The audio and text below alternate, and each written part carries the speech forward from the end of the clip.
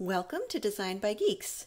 Today I'm going to be showing you how to make this Rissa Roxit top hat SVG out of paper. The link to buy this design will be in the video description and it looks great, big or small. Here you can see I have this little teeny tiny one that I've made. And I've seen customers use these as steampunk fascinators, as costume pieces, as doll hats, for baby photos, or as a Mad Hatter decoration for an Alice in Wonderland party. This design also looks great with added embellishments. As you see here, I've added some feathers, and the assembly is very easy. You're going to start by cutting out all of your pieces. There's a ring piece that makes the brim. There's a circle piece with tabs, that's going to be the top of the hat.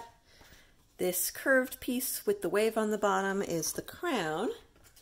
And this piece, which is similar to the crown, is the hat band. Now you want your hat color, which is the color that you see in the gray, to be pretty on both sides because on your brim you will see the front and back of the paper. So we're going to start by assembling the crown of the hat.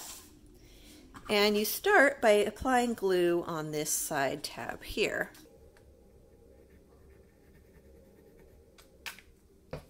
And then you're going to curve it around to meet the other side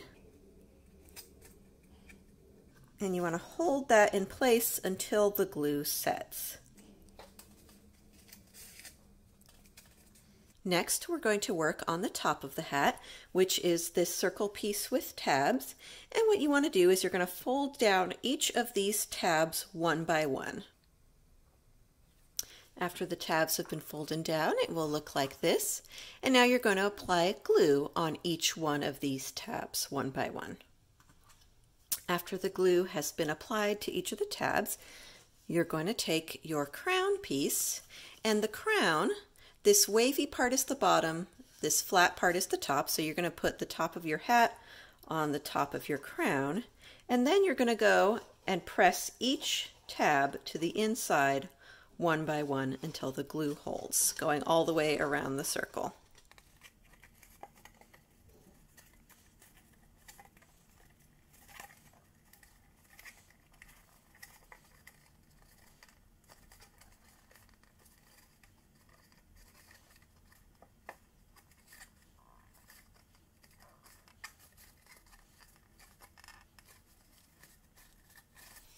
Each of our tabs are glued down so the crown of the hat is complete. You'll notice there's a seam from when you glued it. That's going to be the back of your hat. Next, we're going to assemble the brim piece, and you start by applying glue on each one of these tabs.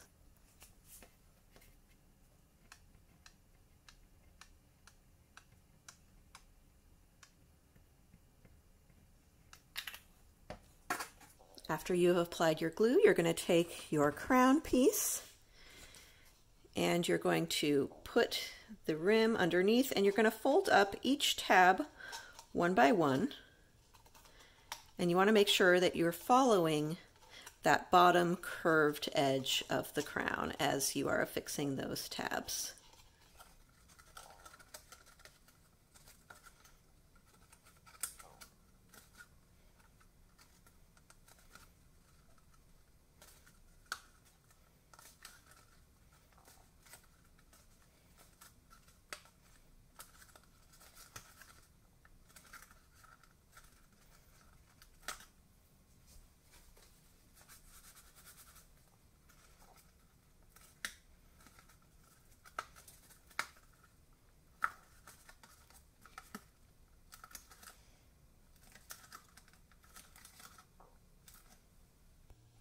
Once your glue is dry, you can then add your brim piece.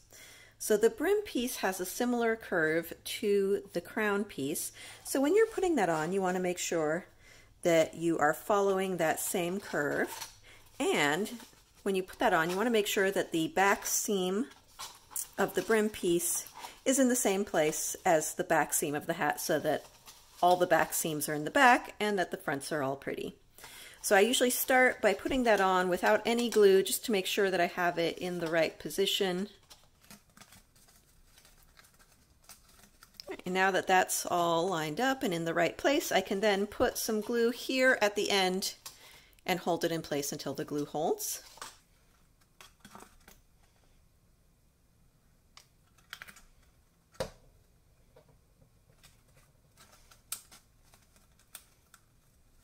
And how long it takes for the glue to hold for any of your hat pieces really depends on the material type that you're using and the type of glue that you're using. Some papers it takes longer for the glue to take hold.